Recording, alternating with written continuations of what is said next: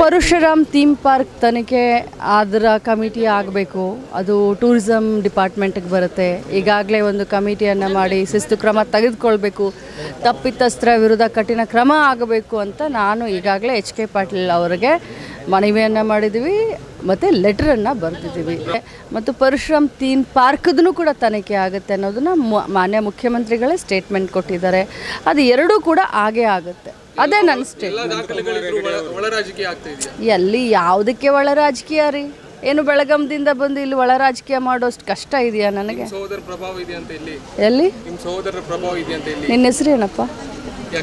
ಕೇಳಿದೆ ಹೆಸರು ನೀನೇ ನನ್ನ ಸಹೋದರ?